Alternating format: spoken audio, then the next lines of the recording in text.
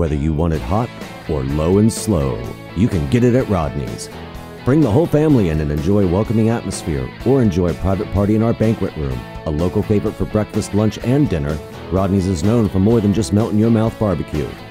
Rodney's is also the answer for all your catering needs from a boot scootin' hoedown to a sit down banquet. For a special treat, Rodney will bring a smoker to your catered event.